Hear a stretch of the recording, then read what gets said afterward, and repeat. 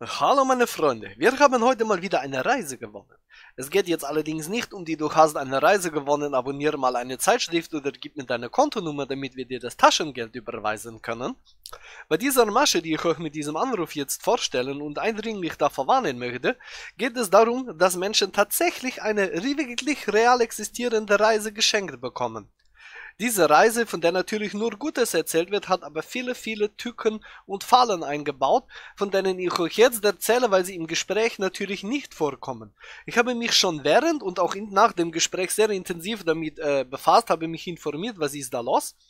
Und hier geht es tatsächlich darum, dass Menschen aus ganz Deutschland eingesammelt werden und in diesem Fall eben nach Polen gebracht werden. Es gibt auch äh, Fahrten nach Schweden, nach Dänemark und so weiter und so fort. Wir wollen uns jetzt auf diese Fahrt nach Polen konzentrieren finden sich unter dem Firmennamen im Internet etliche Menschen, die sich bei Verbraucherschutz, auf Reiseportalen etc. über folgende Dinge beschweren. Erstens, am Abholtag sind die Menschen teilweise mehrere Stunden warten gelassen worden, bis der Reisebus kam, um sie abzuholen. Da hier, es handelt sich ja um eine Verkaufsgeschichte, hauptsächlich alte Menschen überredet und eingesammelt werden, ist das für die natürlich schon mal eine Zumutung, irgendwo zwei, drei Stunden am Busbahnhof zu warten, bis sie dann geholt werden. So von lange sitzen oder lange in Sonne oder lange bei Kälte sein, bis man dann in den Bus kommt, ist schon mal Scheißendreck. Und dann haben sehr viele Menschen davon berichtet, dass die Reise, die uns hier als völlig kostenfrei angepriesen wird, nur dann angetreten werden kann, wenn man beim Busfahrer eine sogenannte Kaution in Höhe von 100 Euro hinterlegt. Die Menschen berichten, dass sie dieses Geld natürlich nicht wiederbekommen haben endlich angekommen, nachdem der Bus dann über zig Käfer gefahren ist und an jeder Milchkanne angehalten hat, beginnt das Ganze wie typisch bei einer Busfahrt, bei der alte Menschen eingesammelt werden, in Kaffeefahrtmanier mit einer Verkaufsveranstaltung. Jetzt geht es aber nicht um Heizdecken, um Schmusekissen oder um dringend benötigte Medikamente, um den bevorstehenden Ätztod abzuwenden. Es wird den Menschen äh, zu sehr, sehr, sehr, sehr schlechten Bedingungen der Wechsel in lokale Währungen angeboten, wo Menschen erzählten, dass sie im Vergleich bei einer örtlichen Wechselstube 20 bis 30 Prozent günstiger weggekommen wären. Weiter geht es damit, dass den Menschen sehr, sehr teure Tagesreisen verkauft werden. So kostete eine Stadtrundfahrt bei unserer äh, Polenreise 65 Euro, während man, wenn man das bei einem äh, örtlichen Anbieter vor Ort selber gebucht hätte, man für umgerechnet ungefähr 16 Euro weggekommen wäre. Und so zieht sich diese Liste immer, immer weiter. Man verlangt äh, für die Organisation von Fahrten, da angeblich die Taxis streiken, die U-Bahnen nicht fahren und Terrorgefahr herrscht, viel Geld von den Menschen dafür, dass man sie von A nach B befördert. Und im Hotel ist das Essen entsprechend natürlich auch extrem teuer, wie wir das von anderen Hotelmaschen kennen.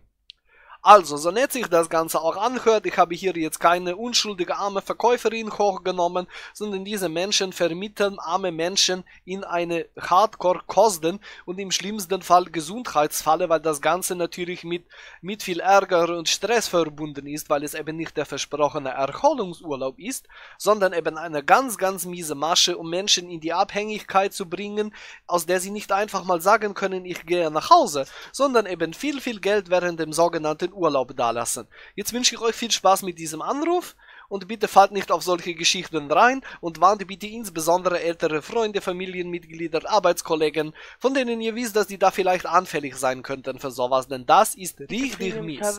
Viel Spaß. Ich hätte gerne mit Herr Eberhard Gärtner gesprochen. Ja, der Herr Gärtner ist am Telefon. Guten Morgen. Guten Morgen. Schön, dass ich Sie am Telefon habe, Herr Gärtner. Ja, Sie ist das schön? Ja, ich habe immer gute Laune. Irgendwas Fröhliches muss man sich im Leben ja behalten, oder nicht? Ja, das ist richtig. Wenn das Wetter schon immer so schlecht ist und überall nur Krieg ist, dann muss man doch irgendwie ein bisschen bei Laune bleiben. Ja, das ist richtig. Herr Geht's Gärtner. Ihnen denn auch gut? Ja, ich habe ein bisschen Halsweh, aber ansonsten ist alles in Ordnung. Oh, Danke der Nachfrage. Soll ich Ihnen Pfefferminzbonbon reichen? das wäre nicht schlecht, ja. Ja, jetzt müsste ich natürlich wissen, wo Sie sind, und dann könnte ich evaluieren, ob das innerhalb meiner Rollstuhlmöglichkeiten liegt. Ich sitze in Magdeburg, also sehr unwahrscheinlich, Herr Gärtner. Oh, sehr unwahrscheinlich. Ja, das ist, glaube ich, bin ich so gut in Erdkunde, aber das glaube ich ein bisschen weiter weg. Ja, Sie sind in Husum, habe ich gesehen, ne? Ja, am schönen Nordseestrand. Ja. Mehr oder weniger schön. Ich bin in Sachsen-Anhalt, also Oh, ja. ist äh, auf jeden Fall ein Stückchen entfernt voneinander. ist das da auch so trauriges Wetter bei Ihnen? Ja, ja. Es ist ja schrecklich. Da müssen wir uns an die Regierung wenden, dass die das mal endlich ändern, weil wir haben ja so im Prinzip ja so einen Rechtsanspruch auf Sonnenschein aus dem Grundgesetz, wenn ich mich nicht täusche. Theoretisch ja, ne? Ja, da müssen wir uns mal was überlegen. Ja. Müssen wir- weswegen hatten Sie noch mal angerufen? Ich habe das schon wieder vergessen. Erkläre ich Ihnen jetzt, Herr Gärtner. Ich Ja. habe Ihnen noch gar nicht gesagt, warum ich angerufen habe. Ach so, ja, da kann ich mich da ja auch nicht dran erinnern, weil ich vergesse öfter mal Sachen. Das liegt wahrscheinlich an Alter. Okay, Herr Gärtner, passen Sie auf. Und zwar rufe ich an, weil Sie sich vor zwei Tagen äh, morgens im Internet für einen Maggi-Produkttest angemeldet hatten. Erinnern Sie sich da noch dran? Sehen Sie, da müsste ich jetzt schon in, im Browserverlauf nachgucken. Dazu müsste ich aber mich ans Passwort von Computer erinnern. Das ist immer sehr schwierig bei mir. Hm, hm. Ja, Ah. und, und, und was geht's da jetzt? Genau. Und zwar äh, haben Sie, sind Sie einer der Glücklichen, der eine Reise gewonnen hat für zwei Personen nach Schlesien. Ja, nach Schlesien, da kommen ja meine Vorfahren her, die sind ja da vertrieben worden. Ah, okay. Sollen wir das jetzt zurückfordern im Prinzip? Wäre eine Möglichkeit.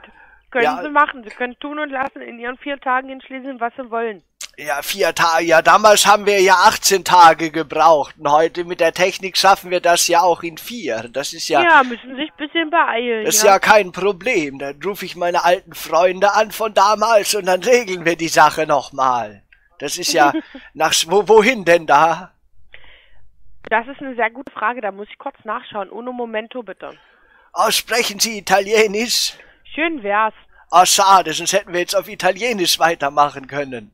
Sprechen Sie Italienisch? Ja, ich bin ja da stationiert gewesen.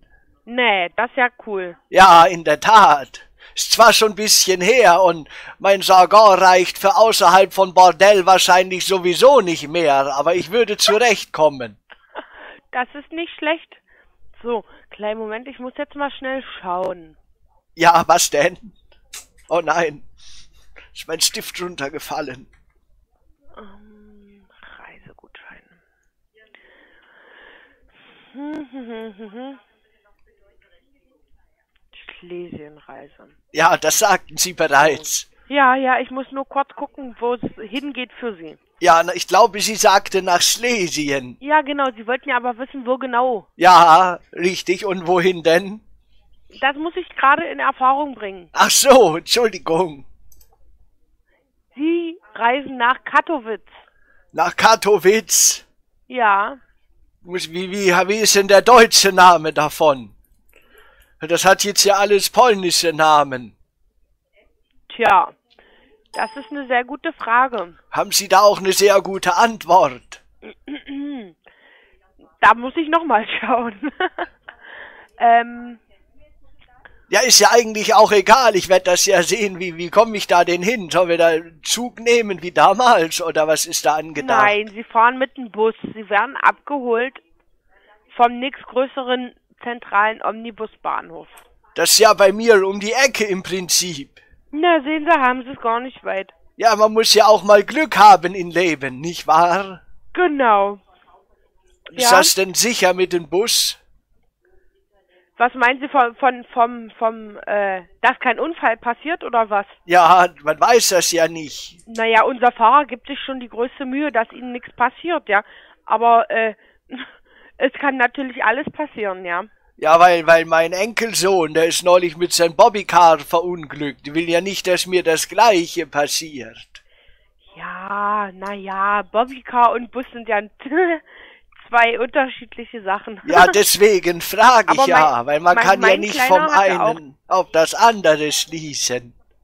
Deswegen, mein, mein, mein Sohn hatte auch vor ein paar Tagen einen Unfall mit dem Bobbycar. Oh nein, ist ja hoffentlich nichts Schlimmeres passiert. Nein, Da bin gut. ich ja beruhigt. Also bei uns zum Glück auch nicht, aber der sah halt schon mal schöner aus.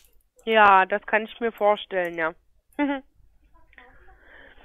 so, Wie Also, lang fährt man denn da? Also damals mit dem Zug, da mit den Waggons, das ging ja schneller. tja, Herr Gärtner, das kann ich Ihnen gar nicht so genau sagen. Ach Diese so. ganzen genauen Informationen habe ich hier gar nicht, denn ich bin nur diejenige, welche die gute Nachricht überbringt. Das ist schön. Meine Glücksfee Genau, sozusagen. genau. Ja, haben Sie ein bisschen Sternenstaub mitgebracht. Natürlich habe ich den mitgebracht, Das ist sehr gut. weil ich ja die Glücksfee bin. Können Sie den dann bitte über die Beine streuen? Vielleicht funktionieren die dann wieder. Mach ich. Mach ich. Dankeschön. Gerne. Ich würde Ihnen die Unterlagen gerne zukommen lassen, die Reiseunterlagen, Herr Gärtner. Ich würde die an die Schulstraße 42 in 25813 Husum schicken. Und was, was sollen wir dann da machen, wenn wir da in Schlesien sind? Dürfen sich die Stadt ein bisschen angucken. Urlaub, einfach mal vier Tage entspannen, mal raus aus dem Alltagstrott.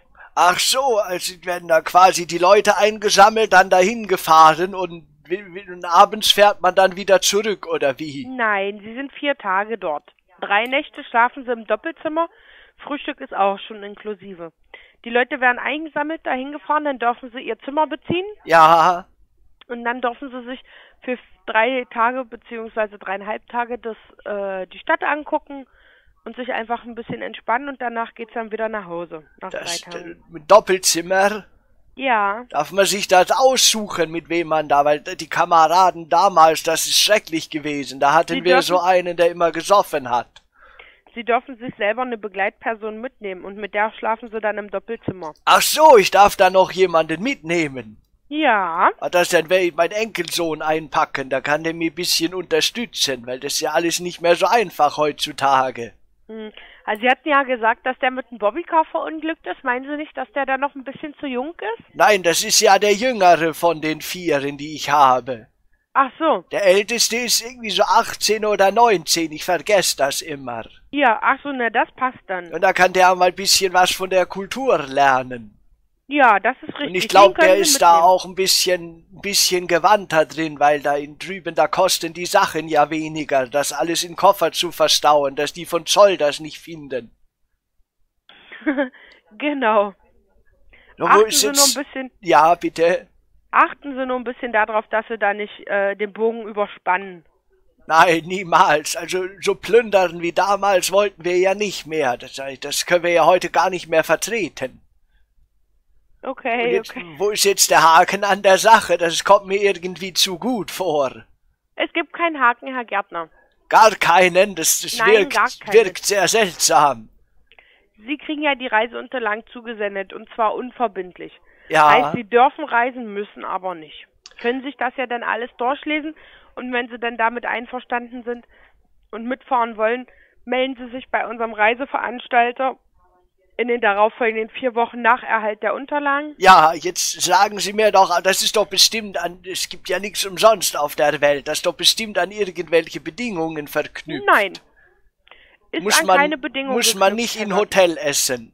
Nein, müssen Sie nicht, dürfen Sie aber. Muss man nicht an einer Verkaufsveranstaltung teilnehmen. Nein, müssen Sie nicht. Und ich glaube, es gibt auch gar keine Verkaufsveranstaltung. Wenn Sie aber zum Beispiel jetzt so sagen, Sie möchten gerne eine Stadtrundfahrt machen, Herr, Herr Gärtner, dann müssen Sie die selber bezahlen. Ja, das ist ja klar. Ich versuche nur gerade hier, ich fühle mich gerade wie so auf ein Minenfeld, weil das verschenkt ja keiner irgendwie einfach was. Unser Reiseveranstalter in Ihrem Fall schon. Ja, warum machen die das denn? Einfach eine Werbereise, damit Sie nachher begeistert sind und allen Leuten erzählen, dass äh, es sehr schön war und dass Sie den Reiseveranstalter Avence empfehlen können. Und was macht Ihre Firma, wenn Sie sagen, Ihre Veranstalter? Sind Sie das selber? Wir sind äh, der Kooperationspartner vom Reiseveranstalter. Jetzt kommen wir der Sache ja näher. Und was machen Sie, also Ihre Firma selber? Wir benachrichtigen Leute in jeglichen Art und Weise und gewinnen Benachrichtigungen, äh, ja, in Ihrem Fall jetzt, dass Sie eine Reise gewonnen haben. Das ist ja sehr interessant. Haben, haben Sie zufällig irgendwas mit Autos zu tun? Nein, wieso? Man sagt noch Elite Premium irgendwas, oder? Ja, Elite Premium Service AG. Ich meine, ich hätte da mal einen Anruf bekommen, da wollten die irgendwas mit, mit einer Autokarte. Oder verwechsel ich das gerade? Das kommt mir Das- so bekannt vor. Nee, das verwechseln Sie, Herr Gärtner. Da haben Sie Autokarten haben wir auf jeden Fall überhaupt nicht. Wir benachrichtigen Leute in Gewinnfällen.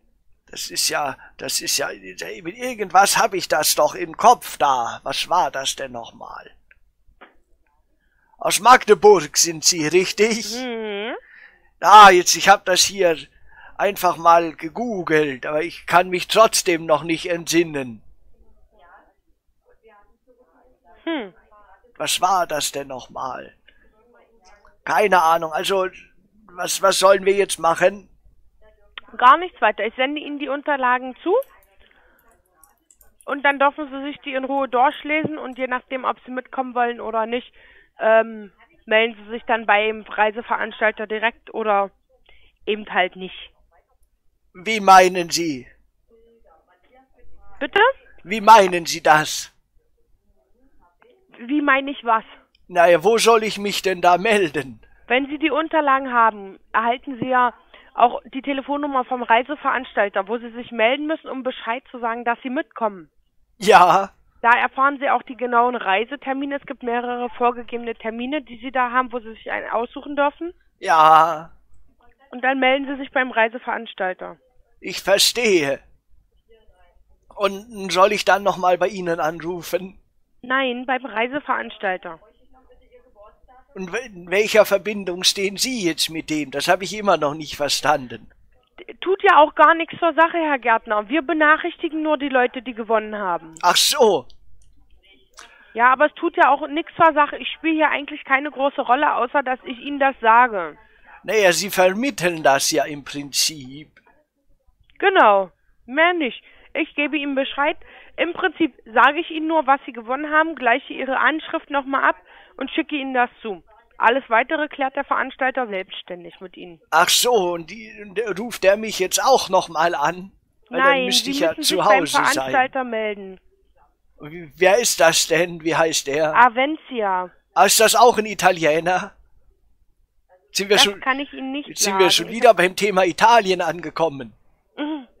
Ich habe keine Ahnung. Herr Gärtner, habe ich alle weiteren Fragen für Sie jetzt beantwortet? Lassen Sie sich mal kurz überlegen. Ich habe mir das hier aufgeschrieben. Was, ja, was, was Sie haben, was ist denn jetzt mit den, mit dem Maggi-Paket? Das habe ich ja, das Da sollte ich ja steht, wie bekommen. gesagt, die Verlosung noch zu aus. Also ich wollte quasi Produkttester bei der Firma Maggi werden und habe stattdessen jetzt eine Reise gewonnen. Genau, können allerdings trotzdem Produkttester werden. Aber da steht die Verlosung, wie gesagt, noch zu aus und es dauert auch noch, bis die Verlosung denn stattfindet. Wieso denn Verlosung? Da stand, man soll sich eintragen und dann kriegt man so Genau, ein aber es können ja nicht eine Million Menschen, die sich da eintragen, auch genommen werden, um Produkttester zu werden. Das wird dann ausgelost. Aber ich, vielleicht können Sie, weil ich bin ja da im Prinzip, ich habe ja viel Zeit, ich bin ja da der prädestinierte Kandidat. Vielleicht können Sie da ja ein gutes Wort für mich einlegen. Kann ich leider nicht, denn ich habe weder mit der Konsumentenumfrage.de oder mit Maggi selbst was zu tun. Ach so. Ja, das, das kann natürlich gut sein. Hm. Das ist schade. ich kann da kein Wort für Sie einlegen. Tut mir leid. Schade. Kann das der Reiseveranstalter denn machen? Nein. Das ist auch sehr schade. Da bin ich wohl weiter auf den Glücksboten angewiesen. Aber das sind Sie ja eigentlich. Genau, ich habe Ihnen ja jetzt schon ein bisschen Glück gebracht. Das ist großartig. Und wie wollen wir jetzt äh, verbleiben? Wann wollten Sie da nochmal anrufen? Ich rufe gar nicht nochmal an. Wieso? Ach so, ich hatte das so verstanden, dass Sie dann, dass Sie zusammen mit dem Reiseveranstalter dann nochmal bei mir Sie- anrufen. Nein, Sie müssen sich beim Reiseveranstalter melden, wenn Sie gerne mitfahren möchten. Ach so. Ja, ich habe das ja gewonnen, dann muss ich das ja fahren, oder nicht? Nö, müssen Sie gar nicht fahren, Herr Gärtner. Ja, aber da, dann muss ich da ja Bescheid geben, dass der, der Platz dann für andere genutzt werden kann, falls ich jetzt krank sein sollte oder so. Ganz genau, Herr Gärtner. Sie rufen an und sagen, ja, ich komme mit oder nein, ich komme nicht mit. Aber bis wann muss, wann, wann, wann ist die Reise denn überhaupt? Wie gesagt, Herr Gärtner, weitere Informationen erhalten Sie direkt vom Veranstalter. Das ist gut. Also Sie können mir das jetzt nicht sagen, richtig? Nein, Ach so. Habe ich keine Daten hier. Es gibt mehrere äh, Reisetermine, wo Sie sich einen aussuchen dürfen. Ja, welche wären das denn? Das weiß ich doch nicht, Herr Gärtner. Ach so. Habe ich Ihnen doch gerade schon gesagt. Ich weiß es nicht. Ja, ich kann mir schlecht Sachen merken.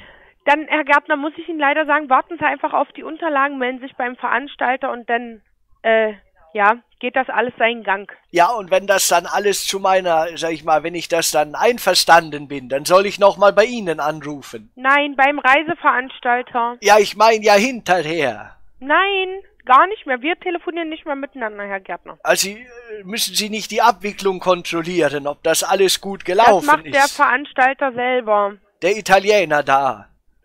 Ja. Der Italiener. Gut, dann ich halte mich, ich merke mir einfach, halten Sie sich an den Italiener. Da, Hm, gut, das hat genau. zwar damals auch nicht geklappt, weil das waren ja die ersten, die kapituliert haben, aber vielleicht klappt das ja diesmal. Das ist ja jetzt eine andere Generation, nicht wahr? Könnte sein, ja. Aber in Afrika haben die damals ziemlich verschissen, um das mal auf Deutsch zu sagen.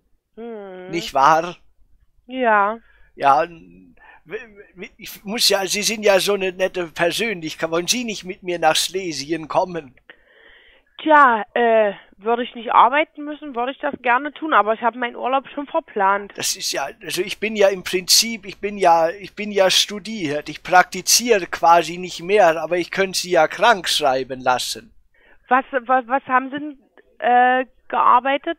Ja, ich bin ja im Prinzip Hals-Nasen-Ohrenarzt und dann kann ich bei Ihnen ja so ein Lungenkarzinom feststellen. Da sind so sechs, sechs bis acht Wochen sind da drin. Nur, also ich hatte einen Morbus Hodgkin Lymphom und ich war zwei Jahre außer Gefecht. Ja, dann können wir da dran doch anknüpfen. Da kommen Sie mal rum bei mir. Ich habe das Equipment ist zwar schon ein bisschen älter, was ich hier habe, aber ich krieg da schon noch eine Diagnose zusammengeschustert für Sie und dann da können wir da die Rückeroberung Schlesiens einleiten. Haben Sie denn, sag ich mal, im Prinzip gedient, dass Sie, sag ich, mit so einem Sturmgewehr umgehen können? Nein, Dann müssen wir das vorher noch irgendwie regeln. das müssen wir üben. Ja, das äh, haben Sie, sag ich mal, schon mal ein Luftgewehr geschossen. Ja, Das ist, äh, können Sie die, den Ladevorgang noch? Ich denke, das werde ich hinkriegen, ja. Weil das ist ja dann im Prinzip eher mit der Artillerie vergleichbar. Dann würde ich Sie da einteilen, weil es bringt ja nichts, wenn Sie versuchen, sag ich mal, das Sturmgewehr umzuknicken. Das wäre dann ja eher die Ladevorrichtung bei der, bei der Panzerabwehrkanone zum Beispiel. Das wäre dann ja eher von Relevanz, weil ich, man soll, das, das soll die Leute ja immer, sag ich mal, fachwissengemäß einteilen. Hm, genau. Ja, sollen wir das dann so machen? Dann würde ich Ihnen, sag ich mal, den Adjutanten vorbeischicken und er soll das dann mit Ihnen besprechen. Zum Beispiel wäre das eine Möglichkeit, ja. Wie lang haben Sie denn Zeit heute? Weil dann würde ich den rausschicken. Bis 14 Uhr. Ich glaube, das ist ein bisschen wenig bis Magdeburg runter. Dann muss er sich beeilen. Ja, können wir Ihnen denn, wir haben ja auch noch die Feldpost, sollen wir Ihnen so ein Täubchen schicken? Das wäre ja auch eine Option. Ja, haben Sie Erfahrung im Umgang mit Brieftauben? Ach nee, ich denke, so schwer wird das nicht sein. Na, Sie müssen die im Prinzip ja nur unterm Bäuchlein kraulen und dann, dann hackt die auch nicht. Alles klar. Ja, Gut, Herr Gärtner. ich dann schick über- die dann raus, nicht wahr? Machen Sie das. Gut, dann melden wir uns zum Dienst, ja? Genau. Ich wünsche Ihnen alles Gute.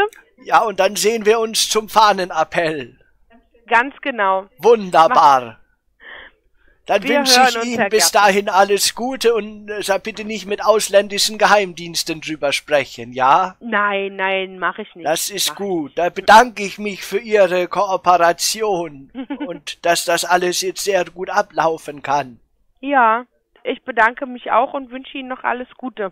Ja, vielen Dank. Bis später dann. Bis dann, auf Wiederhören. Wiederhören. Also, weiterhin warnen, Datenfallen erkennen ist wichtig, denn für Menschen, die darauf reinfallen, kommen solche Anrufe zustande.